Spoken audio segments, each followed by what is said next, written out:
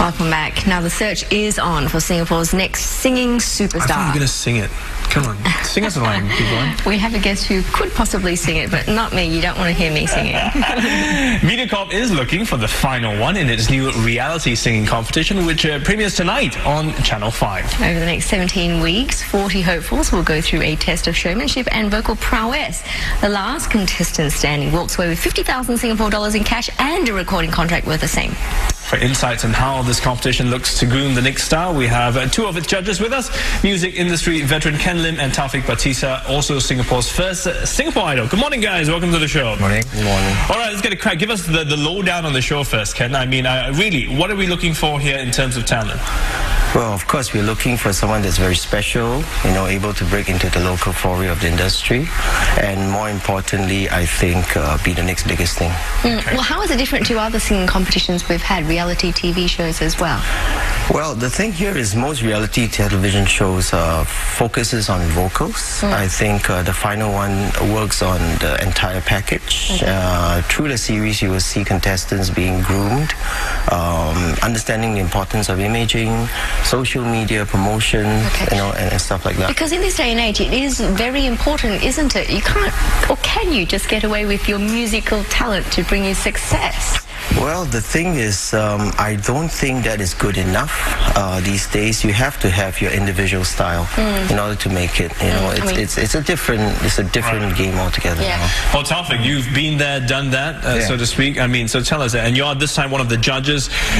Do these uh, new talents really require the full package and that little special something? Um, for me, I feel uh, raw talent is really important. It's going to go a long way. But uh, with a lot of nurture, um, providing the right tools for them to be able to use to improve on their skills, they're going to go a longer way. And um, I feel the contestants that we've heard so far, they're amazing. And they're going to do even better with uh, some help from the judges, from our mentoring. And um, the final one is going to be a contest that everybody's going to enjoy. But let me ask you this question, both of you. I mean, so how much of it needs to be a good voice, as in they can actually sing, and how much of it can be the other aspects of the package? I mean, so how much weightage is there? Can a not so great singer be a great entertainer? Well, it, it really depends on, on what you're looking at because you know you have to make up for whatever you like, mm. right? What's important is that people like you. You know, you can be basically having a so-so voice, but if you look really good, chances are you have a probability, mm. very high probability of making it. You see, mm. but uh, if you have a terrible voice and you look very good, of course you're a total write-off, right? So, yeah. Now, Ken you came up with the idea for this show because you think that there's a lack of talent there in Singapore that can make it internationally? Is that correct? I wouldn't say that there's a lack of talent. You know, I, I think the question here is uh, we need more platforms for, for these musicians to, to actually display what they have and, and opportunities for them to actually show off their skills, right? Um, I think we lack that, not lack of talent. You know, Okay. yeah. Because I've always felt uh, in Singapore we have uh, we have an amazing pool of talents, and it's just that they don't have the right platform for them to really shine. And the final one is a perfect, perfect platform for them to do just that. Now, besides that, I mean, because you, you again, you know, when after you won Singapore Idol, it's been a few years, and you know, was it tough going uh, to sort of uh, make it in the, the music industry? Um, it is. It is. Um, uh, one thing that Ken always tells me, uh, you have to keep improving. You have to keep reinventing yourself to remain relevant in the industry. Because with in this day and age, with social media, with the internet, uh, you know, there's a star born every other day. So what makes you relevant? So that is what you have to battle with every day to keep improving yourself, to keep doing better than what you did previously. Okay. Well, what um, advice do you have for budding musicians? Because not not everyone can enter such competitions and also gain success out of that. So to keep the uh, music industry alive here in Singapore, what other platforms are there?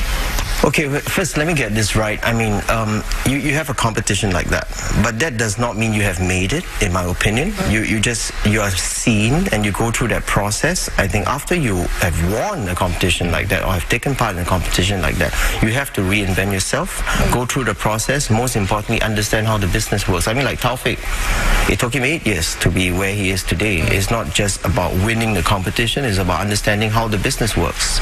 So that's where I, I feel, uh, um, you know, our local industry needs to look into these important guidance, you know, and opportunities rather than just hoping that you put up a video on YouTube and, and be discovered because that, at the end of the day, will not, yeah, is not enough for you to survive in the business. So it's just a step in the process. okay, yes, now it is. now we're going to ask you about the judging, uh, and all of the judges. There are three of you, uh, Kit as well. So uh, who plays good guy, bad guy? Is there a? I'm sorry. we all play- we all know who's who's the bad guy. I mean, at the end of the day, I, I- think my objectives are very clear. Is to say it as how I see it. You know, um, I, I don't know, but many people do not realize that. You know, your your finest moments are when you're disappointed and when you're down. Only then you can actually propel yourself to greater heights, right?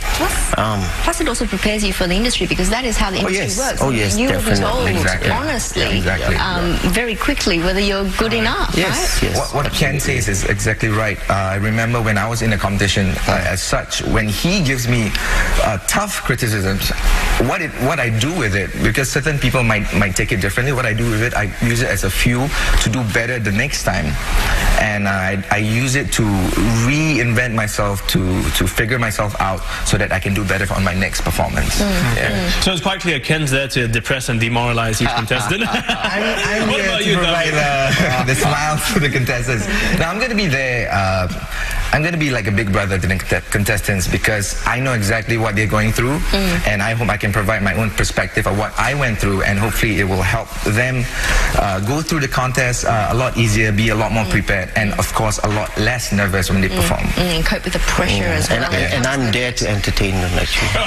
well, not to forget the lady uh, also as well with the Kit Chan. I mean, she she's the, the how, what's her role in that Uh, sense? Have you all? um, I would say she's like a like a sister. Yeah, yeah, she nurturing, yeah, Yeah. Yeah, Given our experience, yeah. yes, of Okay. course. Well, we look forward very much to the competition and seeing how it pans out as well. Yes. Thanks for coming Thank you in. for coming in. Thank you.